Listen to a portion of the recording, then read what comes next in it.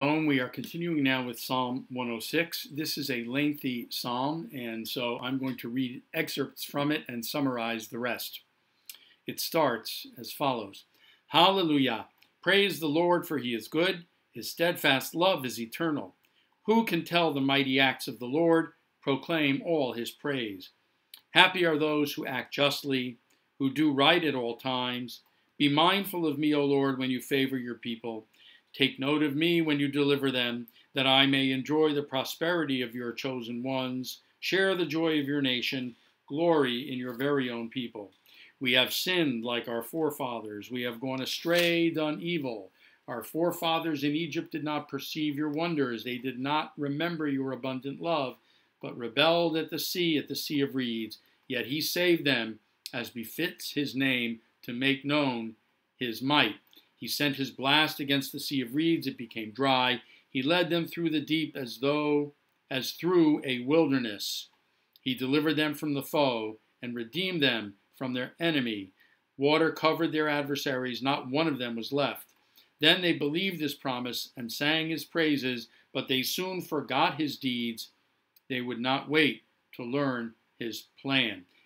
And then that's up to verse 13. Then continuing with verse 14 through verse 32, the psalmist continues with a list and a litany of insults directed by the people against God. All the examples, including the, the golden calf, the waters at Meribah, um, their faithlessness uh, with the Midianites at Baal Peor, um, turning their backs on the covenant, forgetting all of God's uh, graceful and miraculous deeds, and instead choosing to follow the path of disbelief and of cynicism. And they turned away from the covenant and ignored the Torah and provoked the wrath of God. And then in verse 34, they did not destroy the nations as the Lord had commanded them, but mingled with the nations and learned their ways. They worshiped their idols, which became a snare for them. Their own sons and daughters they sacrificed to demons. They shed innocent blood, the blood of their sons and daughters, whom they sacrificed to the idols of Canaan. So the land was polluted with blood guilt. Thus they became defiled by their acts, debauched by their deeds when the Israelites entered the promised land, instead of completely obliterating the Canaanite nations, instead they allowed some of those nations to exist and persist, and thus they became infected by the idolatrous practices of those Canaanite nations and continued to reject the covenant and the Torah. And so God's reaction he was angry with his people. He handed them over to the nations. Their enemies oppressed them. God continued to save them time and time again, but they were deliberately rebellious, and so they were brought low by their iniquity.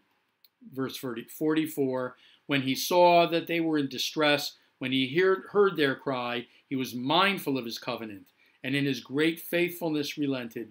He made all their captors kindly disposed towards them. Deliver us, O Lord our God, Hoshienu Adonai Eloheinu, V'kabtzenu minagoyim, and gather us from among the nations, Laodot l'shem kochecha, to acclaim your holy name, L'hishtabeach betilatecha, to glory in your praise. Baruch Adonai Elohei Yisrael, blessed is the Lord God of Israel, min ha'olam v'yad ha'olam, from eternity to eternity. V'amar kol ha'am, amen, hallelujah. Let all the people say amen. Hallelujah. A number of verses in this psalm are incorporated uh, into the liturgy, some on uh, the everyday prayers, and one verse in particular is recited on Rosh Hashanah. Uh, so the theme here, of course, is the theme of the people's rejection of God. And in contrast, God will never utterly reject God's people. God might, from time to time, have to punish them They might have to suffer the consequences of their of their deeds, but in the end, God will never ever recant on the covenant. God will always always remember the covenant with the people and in the end will deliver the people from extinction. So that is one of the main themes of this psalm, and it has to do, of course, a lot in, in our own lives with the relationships between parents and children. Children can be rebellious, children can reject the teachings that we try to impart to them. And we might sometimes, especially with younger children, have to take uh, direct action so that they can see the consequences of, of what they do in order to, to be corrective and in order to help them develop better character. But in the end, uh, we will never, as parents, completely abandon them. Uh, the covenant that we have with our children will remain in effect. We will try our very best, our very best, no matter what our children do, never to let go of them altogether. Now, I'd like to uh, focus on one verse also, even though many of these verses are, are kind of depressing and downers in terms of the people's faithlessness. Uh, but in contrast with that, God's love of God's people and qualities as a deliverer is, of course, an upbeat theme. And there's one verse in here that I'd like to single out. Mi Yimalel Gvurot Adonai. Yashmiya kol tilato, who can tell the mighty acts of the Lord, proclaim all his praises. That first part of verse 2, Mi Yimalel Gvurot Adonai, was slightly altered in a very popular Hanukkah song, which is known as Mi Yimalel Gvurot Yisrael. Instead of who can tell the mighty acts of the Lord, instead in that song, Mi Yimalel, who can tell the mighty acts of Israel, of the people Israel.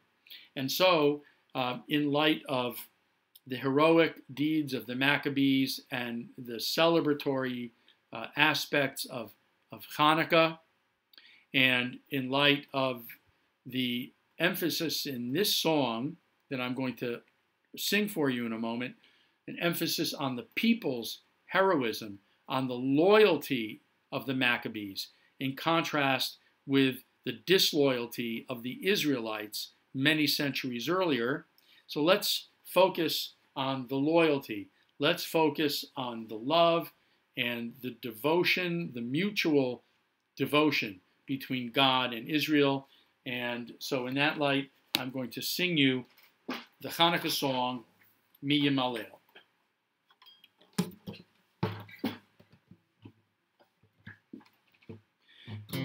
Mi Yimalel. Mi Yimalel Gurot Yisrael Otam Mi Yimne Ein Bechol Dor Yakum Agibor Goel Mi Yimalel Gurot Yisrael Otam Mi Yimne Ein Bechol Dor Yakum Agibor Goel Shma Bayamim Haim Bazman Maccabi Moshia Ufodeh Uvyamenu Kol Am Yisrael Yitached Yakum Lehigael Mi Kurot Yisrael Otam Mi Yimne Hem Bechador Yakum Magibor Goel ah, Mi Yimaleh Kurot Yisrael Otam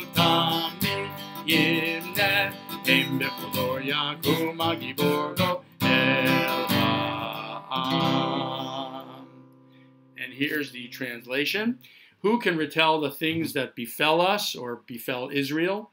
Who can count them? In every age, a hero or sage come came to our aid. Hark! In days of yore, in Israel's ancient land, brave Maccabeus led the faithful band.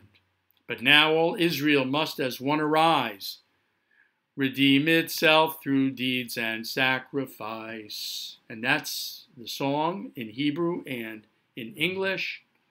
And we, as Israel, as members of the Jewish community, and members of all the human community, no matter what religion, no matter what faith, no matter what culture, all of us are given the opportunity to redeem ourselves and deliver ourselves through deeds and sacrifice and service and heroic acts, brave acts that allow us to focus and connect to our higher selves, to our inner core of our spiritual existence. And when we are able to do that, we rise above our lowly aspects of who we are. We rise above our selfishness and our faithlessness and move into heroic grace. Thank you.